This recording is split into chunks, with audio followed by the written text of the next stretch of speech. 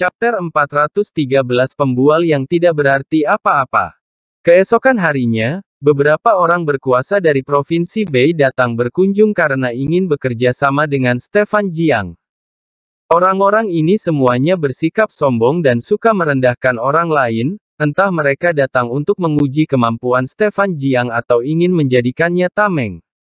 Namun jelas bahwa tidak satu pun dari mereka yang benar-benar ingin bekerja sama dengan Stefan Jiang. Menghadapi ini, Stefan Jiang akan menolak mereka secara langsung atau menggunakan racun ketika konflik hampir terjadi. Akungnya, Stefan Jiang tidak membuat beberapa racun kronis sebelumnya. Kalau tidak, dia bahkan bisa menyelesaikan mereka secara diam-diam dan tidak perlu bertindak secara pribadi. Tidak lama kemudian, kabar bahwa Stefan Jiang hanya tahu menggunakan racun dan mengalahkan Paris Niu dengan cara licik telah menyebar luas. Mereka yang merasa tersinggung oleh Stefan Jiang bahkan mengatakan bahwa mereka harus membuatnya membayar mahal. Ini adalah rencana Vernemo, meskipun persekutuan Wulin tidak turun tangan, Stefan Jiang telah menjadi objek pengecaman dan permusuhan di dunia bela diri Provinsi Bel. Dengan sifat sombong dan temperamen para Grandmaster Agung, mereka yang pernah merasakan kekalahan karena Stefan Jiang pasti tidak akan melepaskannya begitu saja saat menjelajahi makam Raja Wilbert. Tanpa campur tangan persekutuan Wulin, mereka pasti tidak akan melepaskan kesempatan ini untuk membalas dendam pada Stefan Jiang. Ketika Viet Hu mengetahui bahwa Stefan Jiang telah membuat musuh di mana-mana, dia merasa sangat kesal dan putus asa. Menjelajah makam Raja Wilbert sudah sangat berbahaya, dan sekarang Stefan Jiang bahkan menyinggung perasaan begitu banyak orang. Ini sudah seperti bunuh diri. Stefan Jiang tidak terlalu memikirkan hal ini. Pil kekuatan spiritual adalah kartu truf yang dia hasilkan dengan menghabiskan dua tanaman obat berusia 150 tahun. Jika harus menggunakannya, dia pasti akan memanfaatkannya semaksimal mungkin. Jika tidak maka akan sia-sia. Setelah merapikan dan menggabungkan berbagai keahlian dalam ingatannya selama periode ini, Stefan Jiang memiliki keyakinan yang lebih besar dalam kemampuannya sendiri. Setelah menginap semalam di hotel, pada saat matahari terbenam di hari berikutnya, Stefan Jiang memulai perjalanan menuju tujuannya di dalam pegunungan yang terpencil. Tuan, itu adalah pintu gerbang makaran Raja Wilbert. Formasi penjaga gerbang masih belum rusak, tapi sepertinya akan segera berhenti berfungsi. Setelah memarkir mobil, Viet Hu yang mengenakan masker berjalan-jalan sebentar sebelum kembali ke samping Stefan Jiang, telah menunjuk ke pintu batu besar yang berkedip-kedip di celah gunung yang runtuh. Diklu dan orang-orang dari persekutuan Wulin sudah tiba.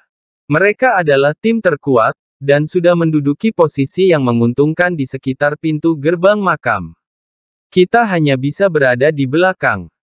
Sebagai kekuatan lokal di Provinsi Bel, selain Vernemo, Wiman Wu dan Diklu, tim persekutuan Wulin juga mengirimkan tiga Grandmaster Agung dan lebih dari 20 Grandmaster, serta banyak tentara kelas rendah.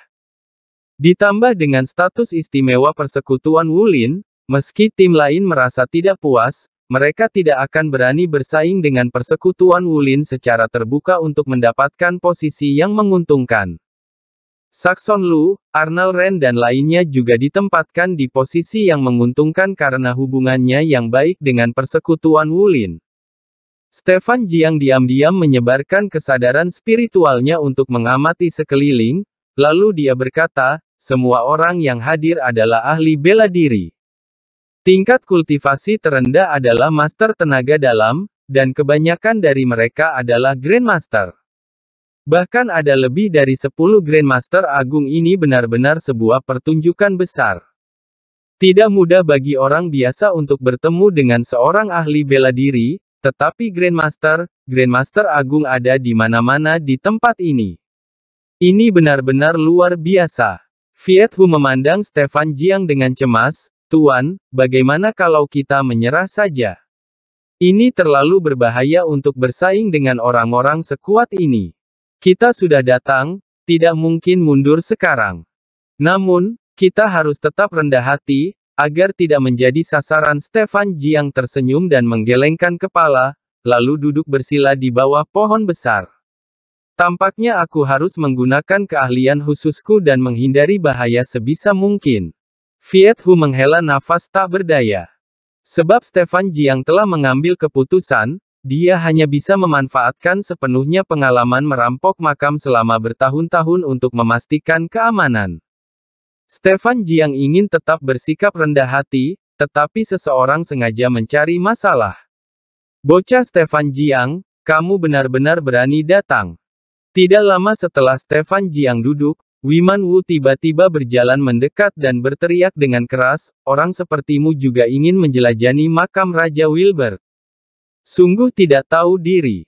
Wiman Wu sangat membenci Stefan Jiang dan selalu mengamati pergerakan di sekitarnya.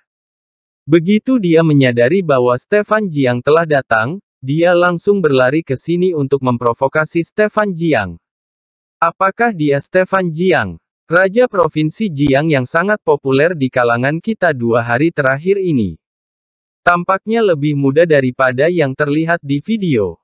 Di tanah tandus seperti Provinsi Jiang sudah bertahun-tahun tidak satu pun tokoh besar muncul, jadi sungguh konyol dia menyebut dirinya Raja Provinsi Jiang. Aku dengar dia juga dijuluki Raja Gigolo Provinsi Jiang. Tidak tahu dia merayu wanita mana sampai bisa merajalela di Provinsi Jiang. Dia sampah yang hanya tahu menggunakan racun dan taktik kotor. Setelah memasuki makam, aku pasti akan membunuhnya jika punya kesempatan. Dengan teriakan keras Wiman Wu, semua orang di lokasi memperhatikan Stefan Jiang dan mulai membicarakannya. Wiman Wu ini benar-benar pantas mati. Stefan Jiang mengutuk dalam hatinya. Dia ingin rendah hati, tapi Wiman Wu tidak ingin melepaskannya. Kamu adalah sampah yang bahkan tidak bisa menggunakan perisai energi dan mengalahkan Paris Niu dengan cara licik, berani kamu ikut campur dalam acara sebesar ini. Benar-benar sudah muak hidup. Saxon Lu, Arnold Ren dan orang lain yang sebelumnya menderita kerugian dari Stefan Jiang pun mendekat dan memberikan ejekan pada Stefan Jiang. Menghadapi situasi seperti ini, wajah Viet Hu langsung memerah karena marah. Sementara Noel Duan berdiri di samping Stefan Jiang dengan ekspresi serius dan siap bertarung. Aku di sini untuk menjelajahi makam kuno, bukan untuk bertarung denganmu. Stefan Jiang duduk di tanah dan menatap Wiman Wu dan yang lainnya, jika kalian ingin membunuhku, lakukan saja sekarang. Aku sudah siap. Tapi jika kalian hanya berkata omong kosong, lebih baik kalian menjauh dari sini. Bocah, Jangan kira kamu mendapatkan Nona Ji. Saudara Ji, berhati-hatilah dengan apa yang kamu katakan. Vernemo yang berdiri di belakang, tiba-tiba menyela kata-kata Wiman Wu. Di bawah instruksinya, hubungan Stefan Jiang dengan Michelle Ji tidak diketahui di Provinsi Bell. Jika lebih banyak orang mengetahui bahwa hubungan antara Stefan Jiang dan Michelle Ji, banyak orang akan waspada dan tidak berani menantang Stefan Jiang sembarangan. Jika orang lain tahu bahwa Michelle Ji berani menghancurkan cabang persekutuan Wulin demi Stefan Jiang, pasti tidak ada lagi yang berani menyinggung perasaan Stefan Jiang. Huff. Stefan Jiang, menjelajahi dunia rahasia didasarkan pada kekuatan, dan sampah sepertimu pasti akan mati begitu masuk ke dalam makam. Wiman Wu juga tahu bahwa dia tidak bisa mempengaruhi rencana Vernemo, jadi dia mengancam Stefan Jiang dengan keras dan menahan dirinya untuk tidak langsung bertindak. Melihat Wiman Wu yang pemarah tidak langsung bertindak, Saxon Lu, Amal Ren dan yang lainnya menyadari bahwa Stefan Jiang pasti mengandalkan seseorang, sehingga mereka tidak berani menyerang lebih dulu. Sekelompok pembual yang tidak berarti apa-apa. Stefan Jiang mengangkat sudut bibirnya, Sambil diam-diam berkata, sekarang bukan saatnya untuk bertindak. Setelah masuk ke makam Raja Wilbert, aku akan menyingkirkan kalian semua. Jadi, kamu adalah Raja Provinsi Jiang yang legendaris, Stefan Jiang. Pada saat ini, dua pria dan satu wanita tiba-tiba menghampiri Stefan Jiang. Gadis menawan itu mengenakan pakaian tradisional berwarna merah muda dengan rambut panjang, dan dia menyambut Stefan Jiang dengan hangat. Di samping gadis itu berdiri dua pria yang berusia sekitar 30 tahun. Salah satu dari mereka mengenakan jubah putih dengan kain putih melilit kepalanya, dia sedang menatap Stefan Jiang dengan ekspresi dingin dan tatapan tajam. Sementara pria lain mengenakan jubah hitam dan menutupi kepalanya dengan tudung. Sambil menggerakkan hidungnya, dia memperhatikan Stefan Jiang. Chapter 414 Tiga Kultivator itu hanya omong kosong dari orang luar, tapi aku memang Stefan Jiang. Stefan Jiang melihat dengan heran pada tiga orang yang tiba-tiba mendekat dengan penampilan aneh, merasa sedikit bingung, siapa mereka? Mengapa aku merasa seperti pernah bertemu dengan mereka? Meskipun provinsi Jiang miskin, kamu pasti memiliki keahlian yang luar biasa untuk menjadi raja provinsi Jiang. Gadis itu tersenyum manis dan memperkenalkan diri, namaku Agatha Miao, mereka adalah Maxie dan Rainivo. Senang bertemu dengan kalian. Stefan Jiang berdiri, membalas salam dengan sopan dan berkata dengan bingung. Kalian telah melihat kalau aku memiliki dendam dengan persekutuan Wulin dan para master di Provinsi Bei. Mengapa kalian masih datang menyapaku? Apakah kalian tidak takut mendatangkan masalah pada kalian sendiri? Aku hanya menemani Agatha datang untuk menyaksikan acara ini, dan aku tidak tertarik untuk berteman denganmu. Raini Fu dengan kain putih melilit kepalanya, mendesak dengan tidak sabar, Agatha, kita di sini hanya untuk menjelajahi makam Raja Wilbert, dan tidak perlu terlibat dengan orang seperti itu. Ayo pergi. Kak Jiang memang memiliki banyak musuh dan tidak cocok untuk bergabung bersama kami. Maxie yang mengenakan jubah hitam juga ikut bicara, dia tidak mengerti mengapa Agatha Miao begitu tertarik pada Stefan Jiang. Aku tidak pernah meminta kalian ikut denganku. Jika kalian ingin pergi, pergilah dengan cepat. Agatha Miao melambaikan tangannya dengan tidak sabar, sambil menatap Stefan Jiang dengan mata menawan, Orang lain tidak dapat melihat kemampuanmu, tapi aku yakin kamu tidak sesederhana yang terlihat, dan aku selalu tertarik pada pria misterius. Huff. Ini sungguh konyol. Raini Fu mendengus dingin dan berjalan pergi dengan tidak senang. Kak Jiang, aku akan menyerahkan Agatha padamu. Kekuatanku terbatas dan aku tidak berani bermusuhan dengan begitu banyak orang kuat, jadi aku akan menghindar dulu.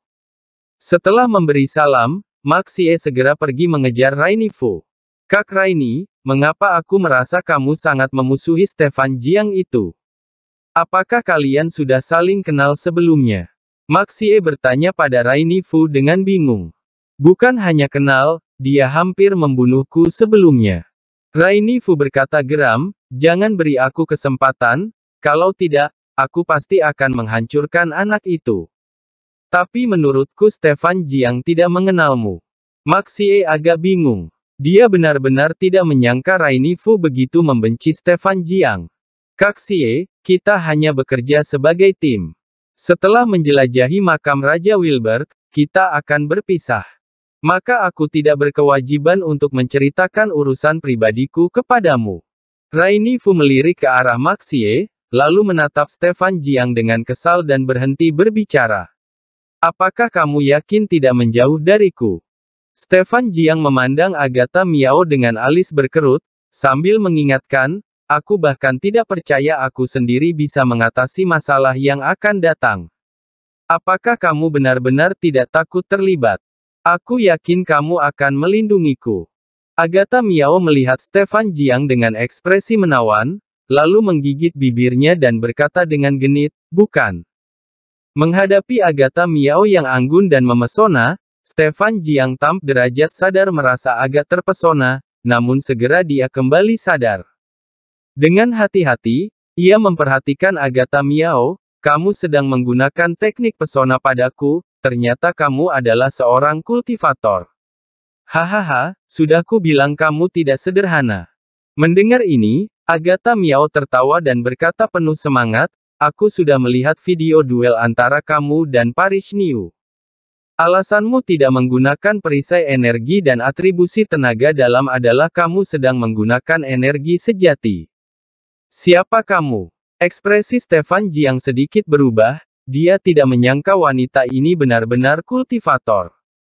Menghadapi ahli seni bela diri biasa seperti Wiman Wu, Stefan Jiang memiliki keyakinan untuk menghadapinya.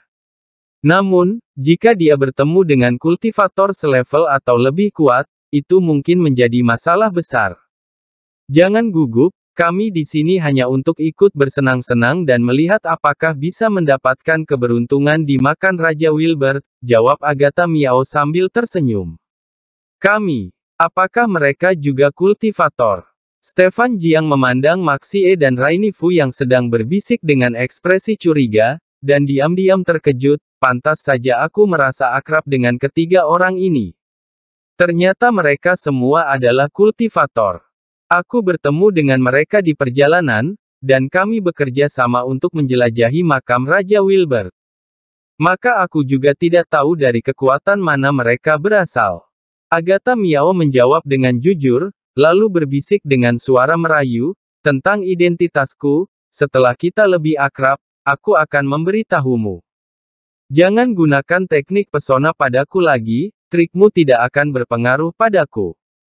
Stefan Jiang memperingatkan tanpa ekspresi, selain itu, aku tidak tertarik dengan identitasmu, dan juga tidak ingin berurusan dengan orang yang berlatih teknik pesona, karena aku tidak ingin kekasihku salah paham. Kamu cukup setia, tetapi jika kamu menjadi temanku, di masa depan kamu akan mengenal banyak wanita cantik. Tidak perlu, pergilah cari temanmu. Stefan Jiang menyela Agatha Miao dengan tidak sabar. Meskipun dia tidak berlatih teknik iblis langit, dia tahu betul bagaimana menghadapi teknik pesona semacam ini. Aku bisa merasakan kalau kamu lebih kuat dari mereka berdua, jadi aku ingin ikutimu. Agatha Miao menjawab dengan senang, lalu berdiri di samping Stefan Jiang dan menolak untuk pergi. Kenapa kamu? Saat Stefan Jiang hendak mengatakan sesuatu, suara dentuman keras yang menggema datang dari kejauhan. Terlihat sebuah helikopter terbang dengan logo kota Long mulai mendarat di atas kamp persekutuan Wulin, sama sekali tidak peduli dengan hidup dan mati orang-orang di bawah. Minggir. Melihat tanda di pesawat, Vernemo dengan tegas menyuruh anak buahnya menghindarinya.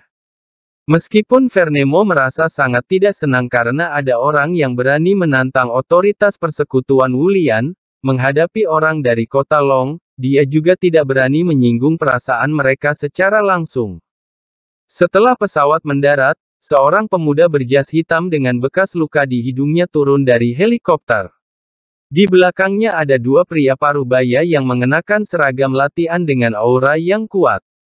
Zakni, Melihat penampilan pemuda itu, Vernemo, Agatha Miao dan orang lainnya berseru pada saat bersamaan.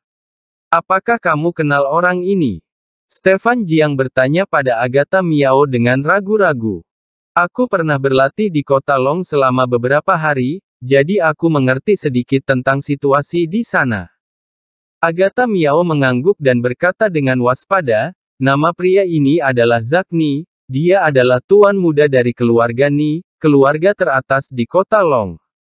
Meskipun dia hanya cabang sampingan, dia dapat dianggap sebagai anggota keluarga Ni. Dia sering bersikap sombong, mendominasi dan kejam, dan aku juga tidak menyangka dia akan datang. Dengan dukungan keluarga Ni, tidak ada satupun orang di sini bisa bersaing dengannya. Bagaimana keluarga Ni di kota Long dibandingkan dengan keluarga Ji dari Jinling? Stefan Jiang bertanya dengan rasa penasaran. Keluarga Ji adalah penguasa wilayah, sedangkan keluarga Ni adalah kaum bangsawan dengan sejarah yang panjang. Jika harus dibandingkan, kekuatan kedua keluarga ini seharusnya sebanding. Agatha Miao menanggapi dengan hati-hati, Charney Ni, Putra tertua dari keluarga Ni pernah mencoba mengejar Michelle Ji dari keluarga Ji untuk menyatukan kedua keluarga. Namun, karena Michelle Ji lemah dan sakit, akhirnya Charney Ni menyerah. Kudengar Michelle Ji telah pulih sekarang, dan Charney Ni mulai mengejar Michelle Ji lagi. Sial, ternyata orang itu adalah saingan cintaku. Mendengar ini, Stefan Ji yang tidak bisa menahan diri untuk tidak mengutuk.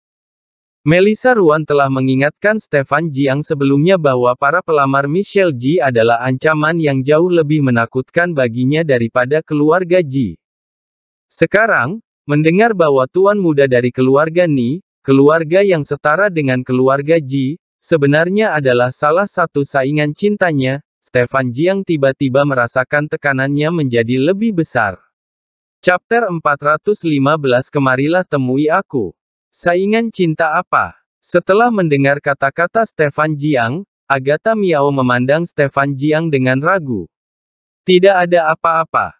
Stefan Jiang menggelengkan kepalanya dan menghela nafas diam-diam, perjalanan menjelajahi makam Raja Wilbert kali ini sepertinya akan memberiku pengalaman yang luar biasa, dan aku sudah terkesan sebelum masuk ke dalam makam. Ah, banyak orang yang datang. Setelah helikopter dimatikan, Zakni meletakkan tangannya di belakang punggung, sambil dengan antusias melihat sekeliling, dan berkata dengan senyuman tipis di wajahnya, izinkan aku memperkenalkan diri, aku Zakni, anggota keluarga Ni di kota Long. Mendengar ini, suasana di tempat seketika menjadi meriah. Mereka yang tidak mengenal Zakni sangat tercengang, karena mereka tidak pernah menyangka bahwa keluarga teratas di kota Long akan terlibat dalam urusan makam Raja Wilbert. Maka siapa lagi yang berani bersaing dengan keluarga Ni? Sementara itu, orang-orang yang mengenal Zakni akan lebih takut untuk melawan keluarga Ni secara terbuka. Kalian tidak perlu memikirkannya, karena semua hal terkait makam Raja Wilbert akan diambil alih oleh keluarga Ni dari kota Long mulai sekarang. Zakni sangat puas dengan reaksi di tempat, dengan gaya mendominasi dia berkata, tetapi karena kalian sudah datang, aku tidak akan membiarkan kalian pergi dengan tangan kosong. Ketika mengeksplorasi makam Raja Wilbert, kalian semua bisa bekerja untukku. Aku akan memberikan hadiah kepada orang-orang yang bekerja dengan sepenuh hati dan melakukan yang terbaik untukku. Ketika sampai pada bagian ini, nada bicara Zakni menjadi sangat dingin, tentang orang-orang yang tidak mau setia padaku, jika mereka berani memasuki makam Raja Wilbert, mereka akan dianggap sebagai musuhku dan akan dihukum mati tanpa ampun.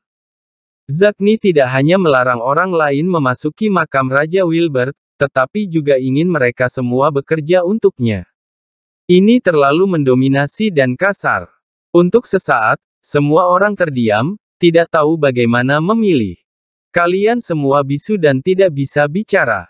Zakni sedikit mengernyit dan memarahinya dengan tidak sabar. Kami bersedia melayani Tuan Neil.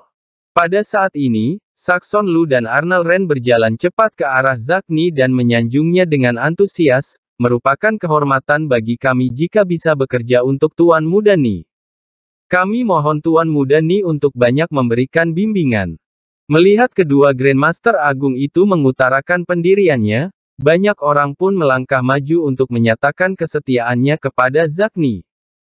Bagi orang-orang yang biasanya tidak memiliki kontak dengan keluarga besar dari kota Long, ini adalah kesempatan bagus untuk bergantung pada orang kaya dan berkuasa. Meskipun Zakni hanya merupakan anak dari cabang keluarga Ni, daya yang bisa dia gunakan jauh melampaui apa yang bisa dibayangkan oleh orang-orang seperti mereka. Ketua, apa yang harus kita lakukan sekarang? Wiman Wu yang tidak tahu harus berbuat apa bertanya pada Verne Mo dengan ragu. Tunggu saja dan lihat apa akan terjadi. Verne Mo melirik ke pintu gerbang makam yang masih berkedip-kedip dan berbisik, Saxon Lu dan kultivator lainnya dapat menurunkan martabat untuk menyerah kepada Zakni, tapi kita tidak bisa.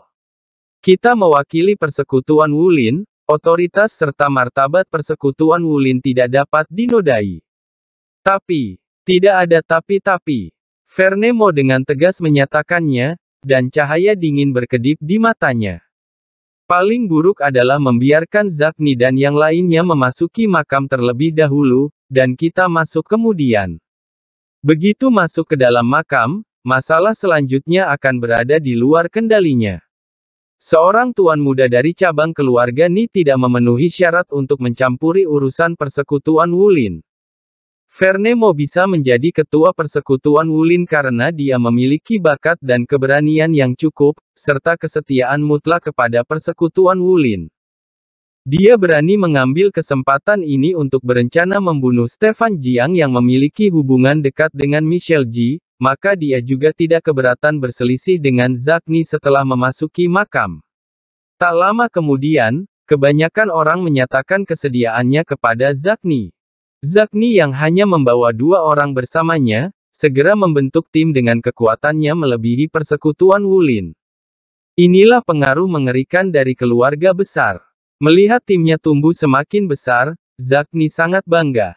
Namun, ketika dia melihat bahwa selain sekelompok kultivator biasa, ada juga tim dengan beberapa Grandmaster Agung, dia sedikit mengernyit, siapa kalian? Apakah kalian tidak berniat untuk setia padaku? Aku Vernemo, Ketua Cabang Persekutuan Wulin di Provinsi Bel, memberi salam pada Tuan Muda Ni. Maju selangkah, mengangkat tangannya untuk memberi hormat, dan berkata, makam Raja Wilbert adalah harta tak bertuan dan terletak di wilayah Provinsi Bei, jadi Persekutuan Wulin memiliki hak untuk menjelajahinya. Ternyata kalian adalah anggota Persekutuan Wulin. Wajah Zakni sedikit mereda, dengan penuh minat dia berkata, tampaknya, Ketua Verne berencana untuk bersaing denganku. Tidak berani, tidak berani. Verne mau tersenyum tipis dan menjawab, pendatang adalah tamu tim persekutuan Wulin pasti tidak akan memasuki makam Raja Wilbert sebelum Tuan Muda Ni memasukinya. Mengenai keuntungan, itu tergantung pada kemampuan masing-masing. Setelah berkata demikian, Verne mau melihat Zakni dengan ranah, jelas dia sudah menyatakan sikapnya. Zakni menyipitkan matanya, bertatap muka dengan Verne sejenak, lalu mengangguk dan berkata, Ketua Verne benar, makam Raja Wilbur terletak di Provinsi Bei Persekutuan Wulin memang memenuhi syarat untuk menjelajahinya. Kalau begitu, kita bisa bersaing secara adil setelah memasuki makam. Zakni sangat menyadari status khusus dan kekuatan mengerikan dari persekutuan Wulin. Jika dia adalah keturunan langsung dari keluarga Ni, dia bisa menantang persekutuan Wulin secara terbuka, tapi bagaimanapun juga, dia hanyalah seorang tuan muda dari cabang keluarga Ni. Jika dia benar-benar menantang persekutuan Wulin, Keluarga Ni belum tentu berselisih dengan persekutuan Wulin hanya untuk seorang tuan muda cabang sampingan seperti dia. Bagaimanapun, keluarga Ni memiliki lebih dari 10 cabang sampingan, dan dia hanyalah salah satu darah tanda kurang lebih garis keturunannya.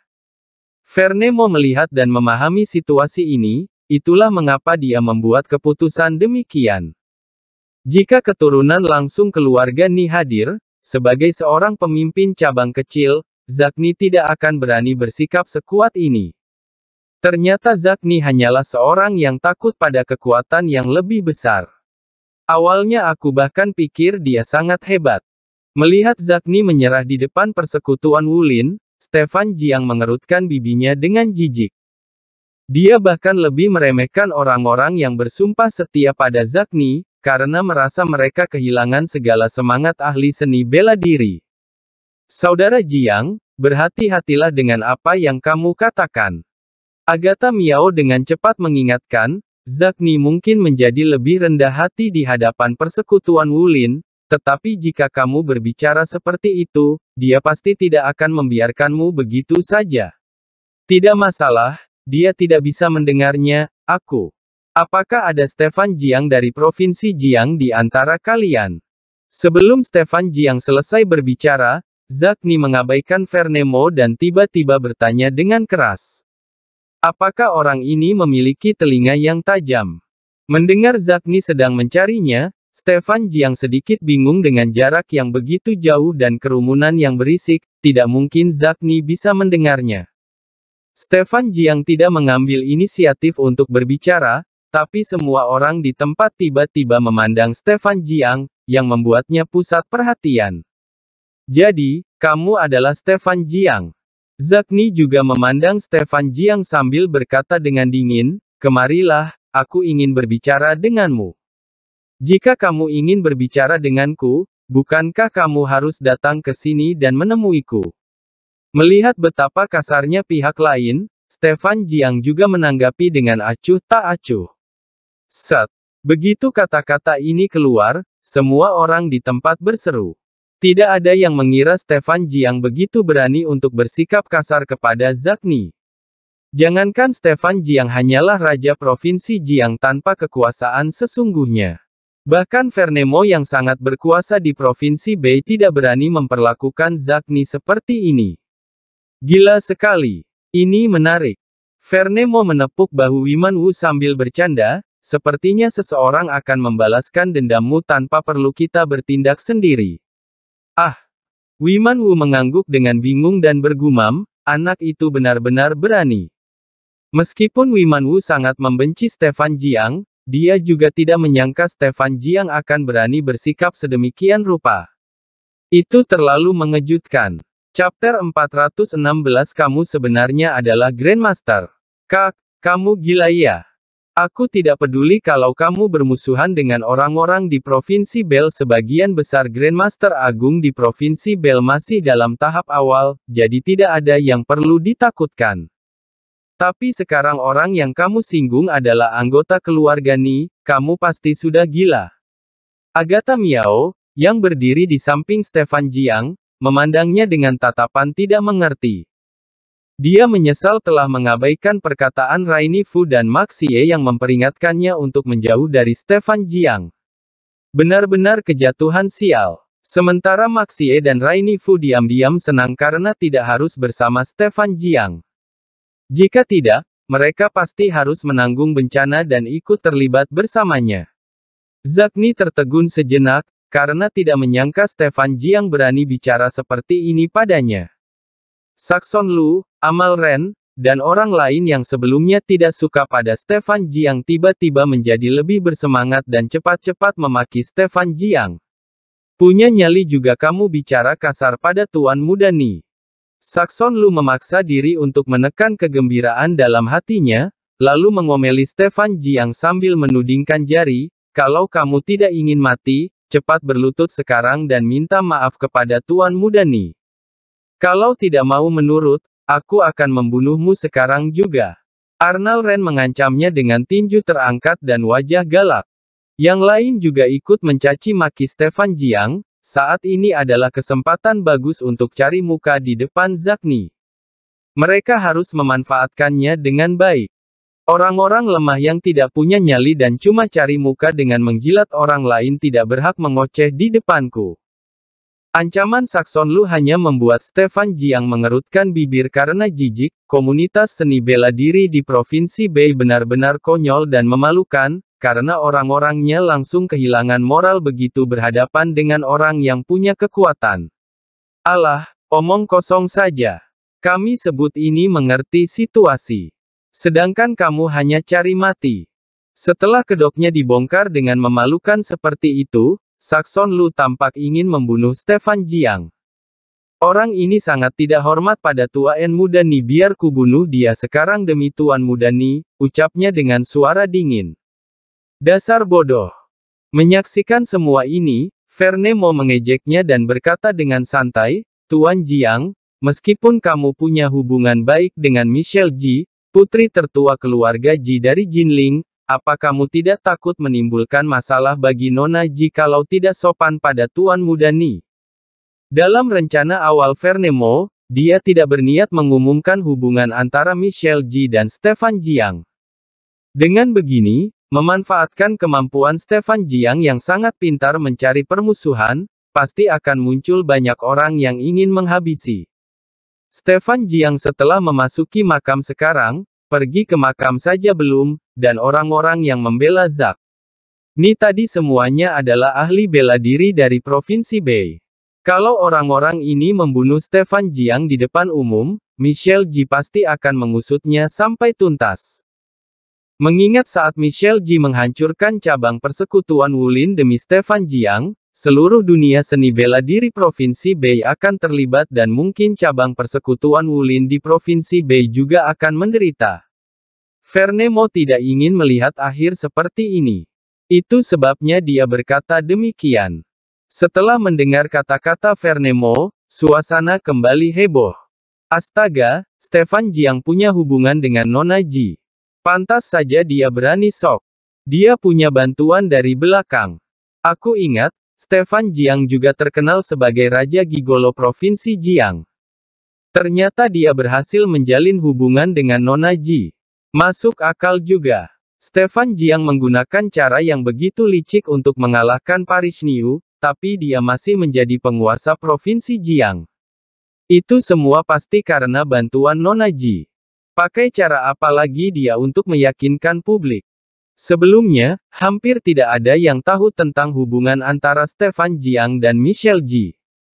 Kini, setelah Vernemo mengumumkannya, tentu saja keributan mulai timbul. Ternyata kamu kekasih Nona Ji. Agatha bisa memandang Stefan Jiang dengan mata terkejut. Pantas saja kamu berani bertingkah sangat sombong. Tidak mengherankan juga kalau kamu tidak tertarik padaku, kamu sudah milik orang lain. Stefan Jiang memutar bola matanya pada Agatha Miao tanpa berkata-kata dia sudah tidak mau repot-repot menjelaskan. Pantas saja dia tidak punya kemampuan tapi masih berani sok. Sakson Lu yang tadi berteriak ingin membunuh Stefan Jiang kini berwajah suram, ternyata dilindungi Nona Ji. Kalau kita membunuhnya di depan umum, Nona Ji pasti akan marah besar. Tuan Sakson. Nona Ji adalah putri kesayangan keluarga Ji. Identitas dan statusnya jauh lebih tinggi dari Tuan Muda Ni. Wilayah Provinsi Bel juga sangat dekat dengan wilayah kekuasaan keluarga Ji. Armal Ren sama-sama panik dan berkata ketakutan, jika kita membunuh Stefan Jiang sekarang dan Nona Ji ingin membalas dendam, kamu, aku, dan seluruh keluarga kita akan menderita. Jangan bertindak gegabah. Sakson Lu mengangguk dan diam-diam mengambil langkah mundur. Para seniman bela diri Provinsi Bei lainnya yang mengancam Stefan Jiang juga terdiam. Mencari masalah dengan putri keluarga Ji hanya demi menyenangkan tuan muda dari cabang keluarga Ni bukanlah langkah yang bijaksana. Wah, pengaruh keluarga-keluarga besar ini sungguh menakutkan. Melihat Sakson Lu yang tadinya bersikap sombong tiba-tiba terdiam, Stefan Jiang mendesah. Tapi bagus juga. Kalau kita bertarung sekarang, akan ada banyak orang yang mengambil kesempatan untuk melarikan diri lebih baik tunggu sampai memasuki makam, baru lihat situasinya seperti apa. Zakni melirik Vernemo, kemudian berjalan menuju Stefan Jiang dengan dagu terangkat tinggi. Sakson Lu dan Arnal Ren membungkuk dan berjalan ke sisi Zakni. Tuan muda Ni, hati-hati. Sakson Lu mengingatkan dengan penuh khawatir, meskipun kultivasi Stefan Jiang masih di tingkat puncak master tenaga dalam, dia tahu cara menggunakan racun kita harus selalu waspada. Untuk mengantisipasi racun Stefan Jiang, kami sudah menyiapkan pil penawar racun. Tuan muda Ni, silakan diminum dulu. Amal Ren menyerahkan pil penawar racun kepada Zakni. Bagus. Aku sangat puas dengan penampilan kalian. Setelah Zakni meminum pil penawar racun, dia memuji, aku kebetulan sedang butuh anjing-anjing seperti kalian. Setelah semua ini selesai, aku akan pertimbangkan lagi membawa kalian pulang untuk dikembangkan di kota Long. Walaupun mereka disebut anjing, Sakson Lu dan Arnal Ren tidak tampak marah dan justru tersanjung serta berterima kasih. Para pengikut Zakni juga sangat iri. Mereka semua memiliki pikiran bahwa menjadi anjing keluarga Ni adalah suatu keistimewaan dan hal yang sangat terhormat. Aku tahu kamu punya hubungan baik dengan Nona Ji. Demi Nona Ji, aku bersedia memberimu kesempatan. Setelah meminum pil penawar racun, Zakni menghampiri Stefan Jiang dan berkata, asalkan kamu berjanji tidak akan mengganggu Nona Ji mulai sekarang, aku akan membiarkan kamu tetap hidup. Siapa kamu? Atas dasar apa kamu mengatur-ngatur urusan antara aku dan Nona Ji? Stefan Jiang menatap Zakni dengan pandangan jijik dan penuh provokasi. Keluarga Ni dan keluarga Ji berada pada level yang sama. Sebab tujuan Stefan Jiang adalah mendapatkan pengakuan dari keluarga Ji, maka dia tidak boleh menyerah. Jika tuan muda cabang keluarga Ni saja tidak bisa dia tangani, apa pantas dia menikahi Michelle Ji? Atas dasar apa? Kakak Charney ini adalah tuan muda keturunan langsung. Keluarga Ni, dan dia sedang mendekati Nona Ji. Keberadaanmu hanya menimbulkan kekesalan yang tidak perlu untuknya. Zakni mengangkat dagunya tinggi-tinggi dan berkata dengan arogan, kalau kamu bersikeras mengganggu Nona Ji, maka aku akan membunuhmu demi kakak Charney. Kamu memanggilnya kakak Charney, sepertinya hubungan kalian cukup dekat juga. Tapi, apa kamu benar-benar dekat dengannya? Stefan Jiang meledek, kamu hanyalah anak dari cabang kecil keluarga Ni. Aku bisa menduga, keturunan langsung dari keluarga Ni bahkan tidak kenal siapa kamu tapi kamu punya muka mewakili keluarga Ni di sini. Sudah bosan hidup rupanya. Kata-kata Stefan Jiang tadi menyentuh titik sensitif Zakni, membuatnya sangat marah, aku tidak punya waktu meladeni pecundang sepertimu. Begitu selesai berbicara, Zakni mengeluarkan aura dan tekanannya sekuat mungkin. Wajahnya tampak sangat benci.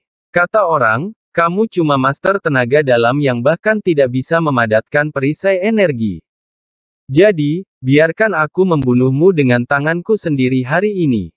Merasakan aura dan tekanan yang dipancarkan Zakni, ekspresi Stefan Jiang sedikit berubah dan dia berseru seakan tak percaya, ternyata kamu Grandmaster. Chapter 417 Keluarga Ji datang. Stefan Jiang awalnya berpikir bahwa Zakni pasti seorang Grandmaster Agung, tetapi dia tidak menyangka bahwa dia hanya memiliki level Grandmaster. Sialnya dia adalah Grandmaster tingkat menengah. Kemampuannya bahkan lebih rendah dari Noel Duan dan Viet Hu, benar-benar bodoh. Aku bisa mengalahkan Paris Niu. Meski saja Paris Niu tidak naik tingkat dan hanya setingkat alam Grandmaster, dia jauh lebih kuat dari Zakni ini. Stefan Jiang memandang Zakni tanpa berkata-kata dan diam-diam bertanya-tanya, siapa yang memberinya keberanian untuk menantangku satu lawan satu. Semua yang hadir juga terkejut dengan kemampuan kultivasi Zakni. Tidak ada yang menyangka bahwa Tuan Muda Ni ini hanyalah seorang pemula. Namun, kekuatan Zakni sendiri tidak penting, latar belakang keluarganya sudah cukup membuat banyak orang tunduk padanya. Tuan Muda Zak yang gagah, cepat bunuh bajingan Stefan Jiang yang tak tahu malu itu. Saxon Lu dan Arnold Ren bereaksi dan berteriak keras terlebih dahulu. Orang-orang lain juga ikut bersorak. Sementara itu, Verne dan Wiman Wu tersenyum melihat apa yang terjadi. Membiarkan Zakni mengambil tindakan untuk membunuh Stefan Jiang, hal itu tidak ada hubungannya dengan dunia seni bela diri Provinsi Bei. Jika Michelle Ji ingin membalas dendam untuk Stefan Jiang, dia hanya akan menimbulkan masalah bagi keluarga Ni dan tidak ada kaitannya dengan mereka. Bagaimana, bocah, takut melihat kemampuanku. Melihat ekspresi Stefan Jiang yang bengong, Zakni dengan bangga bercakap, aku adalah Grandmaster tingkat menengah yang kuat, sementara kamu hanyalah master tenaga dalam yang bahkan tidak bisa menggunakan perisai energi. Tanpa tipu muslihatmu, aku bisa meremukkanmu hanya dengan satu tangan. Sudut mulut Stefan Jiang bergerak-gerak, dia benar-benar bingung bagaimana mendeskripsikan perasaannya sekarang. Banyak anak keluarga besar yang tidak terlalu kuat, tetapi energi mereka cukup untuk membuat banyak orang kuat menyerah. Melihat kebingungan Stefan Jiang, Agatha Miao berbisik, ini urusanmu dengan Tuan Muda Zak. Aku tidak akan ikut campur, terserah kamu saja. Gadis baik. Saat itulah Zakni menyadari tertarik kepada Agatha Miao, matanya tiba-tiba berbinar, aroma polos namun menggoda darinya sangat memikat Zakni. Tuan Muda Zak, aku hanya kebetulan lewat, silakan dilanjutkan. Agatha Miao mengulurkan tangannya untuk menyibak poninya, dan melempar kedipan mata pada Zakni, lalu berjalan ke samping. Gadis itu benar-benar menggoda, setelah mendapatkan makam Raja Wilbert, aku pasti akan mendapatkannya. Satu kedipan mata Agatha Miao langsung membuat Zakni melambung, tubuhnya gemetar menahan gairah. Jika tidak ada sesuatu yang serius terjadi, Zakni sudah tidak tahan untuk meniduri Agatha Miao. Memang begitu keadaannya. Mendengar peringatan Agatha Miao, Stefan Jiang tiba-tiba paham. Tidak semua anak dari keluarga besar ini adalah master hebat, hanya kekuatan di belakang mereka sudah cukup menakutkan. Bahkan Grandmaster Agung yang kuat pun jarang berani bersikap sombong di depan anak-anak yang berasal dari keluarga besar, karena kekuatan keluarga yang mendukung mereka sangat menakutkan. Seperti Michelle Ji yang orang biasa, tapi bisa menyerang cabang persekutuan Wulin dengan kekuatan keluarganya. Bocah, kamu siap mati. Setelah meling Agatha Miao dengan enggan, Zakni menekan hasratnya dan menatap Stefan Jiang dengan dingin. Hanya seorang Grandmaster tingkat menengah berani menantang tuanku. Kamu benar-benar melebih-lebihkan kemampuannya. Sebelum Stefan Jiang dapat menjawab, Noel Duan tiba-tiba maju selangkah, membusungkan dada hingga bajunya sobek, menatap Zakni dengan hawa tempur, biar aku yang menghadapimu. Siapa pria bodoh ini, berani ikut campur urusanku? Zakni sedikit mengernyit dan memandang Noel Duan dengan jijik. Wush! Saat itu juga, tekanan mengerikan memancar dari dua pengawal di belakang Zakni ke arah Noel Duan. Huk!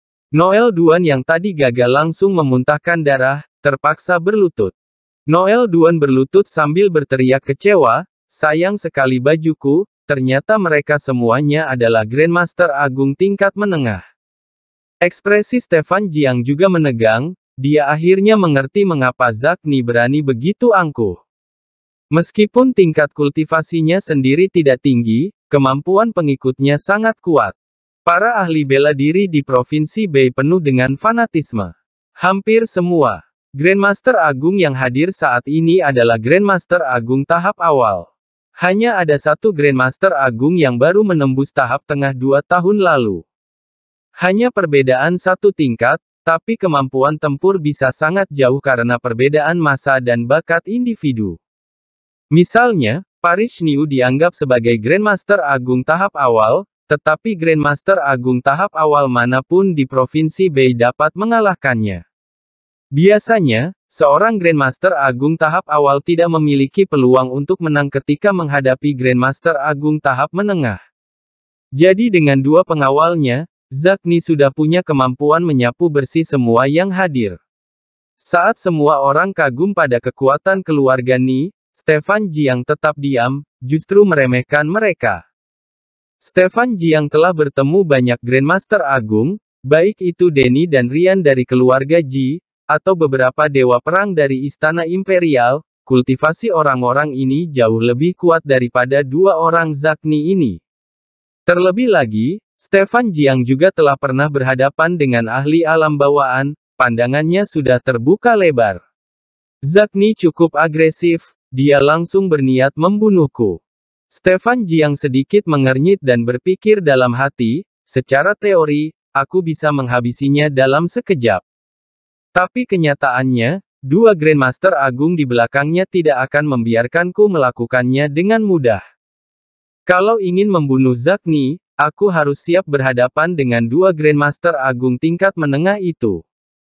Dengan kemampuan tempur sebenarnya, Aku bisa mengalahkan satu Grandmaster Agung tingkat menengah, tapi kalau melawan dua sekaligus, aku harus menggunakan senjata rahasiaku. Tapi aku belum memasuki makam Raja Wilbert. Jika aku menggunakan kartu trufku sekarang, berarti nanti saat berebut harta akan sulit. Terkejut, bocah. Melihat Stefan Jiang berdiri di sana tak bergerak, Zakni bangga berkata, itulah kekuatan keluarga Ni, tenang saja, mereka tidak akan menyentuhmu, karena aku sendiri yang akan membunuhmu. Begitu dia selesai berbicara, Zakni mengangkat tangannya, menggunakan keahliannya dan bersiap untuk membunuh Stefan Jiang. Langkah terakhir harus didahulukan, bunuh Zakni dulu, lalu hadapi dua Grandmaster Agung itu. Mata Stefan Jiang berkilat dingin, dan dia diam-diam mengalirkan energi. Meski enggan menunjukkan kemampuan, dia juga tidak bisa membiarkan Zakni membunuhnya begitu saja. Wuh! Tepat ketika Zakni dan Stefan Jiang bersiap saling bunuh, suara deru mesin helikopter terdengar mendekat. Terlihat sebuah helikopter lain dengan lambang bunga plum muncul di atas kepala orang-orang dan mendarat perlahan. Lencana bunga plum adalah simbol keluarga Ji. Seseorang mengenali lambangnya dan berseru, keluarga Ji datang. Mendengar itu, kerumunan langsung membubarkan diri untuk memberi jalan bagi helikopter, sambil memandang Stefan Jiang dengan ekspresi rumit. Sekarang semua orang yang hadir mengetahui tentang hubungan antara Stefan Jiang dan Michelle Ji, kemunculan keluarga Ji yang tiba-tiba kemungkinan besar untuk mendukung Stefan Jiang. Maka tidak mudah bagi Zakni untuk membunuh Stefan Jiang. Bagaimanapun, dia hanyalah tuan muda dari cabang keluarga Ni, dan tidak memenuhi syarat untuk menantang keluarga Ji.